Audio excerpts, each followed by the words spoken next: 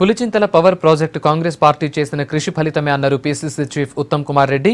Hydro project నిర్మాణం రెండు వేల ఆరులోనే మొదలైందని కానీ ఇది కూడా టీఆర్ఎస్ తన గొప్పతనంగా క్లెయిమ్ చేసుకుంటోందని ఆరోపించారు. పులిచింతల ప్రాజెక్టుతో జరిగిన మేళ్ళపై అక్కడి నిర్వాసితులతో మాట్లాడించారు. పులిచింతల డ్యాంతో సూర్యాపేట జిల్లాలో గ్రౌండ్ వాటర్ కూడా పెరిగిందన్నారు ఉత్తమ్. ప్రాజెక్టు నిర్మాణం తలపెట్టినప్పుడు మేము తీవ్రంగా వ్యతిరేకించాం. సీరియస్గా ఆందోళన చేయడం జరిగింది. కొంతకాలం ఆపడం కూడా జరిగింది.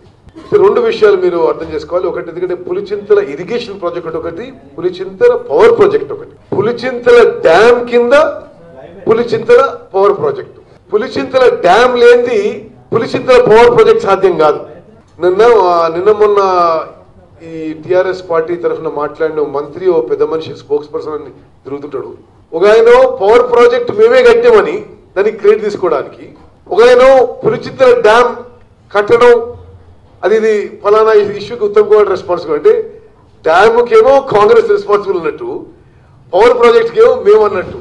అయితే మీ అందరికీ చెప్పాల్సిన విషయం ఏంటంటే Pulichintala dam Pulichintala power project ఆనుకొని ఉంటాయి.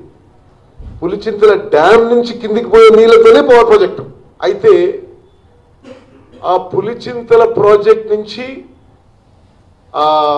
ఆంధ్ర ప్రాంతానికి ఇరిగేషన్ జరిగిన తెలంగ ఇది మీరు దయచేసి నోట్ చేసుకోవాలి. తెలంగాణ ప్రాంతానికి రెండు వందల యాభై కోట్ల రూపాయలతో ఇరవై రెండు వేల ఎకరాలు కొత్తగా ఆయకట్టు బారుతున్నది పులిచింతల వల్ల నూట ముప్పై మెగావాట్ల హైడ్రో పవర్ ప్రాజెక్టు ఈ డ్యాంతో సహా అప్పుడే డిజైన్ అయి నిర్మాణమై సివిల్ వర్క్స్ అయిపోయి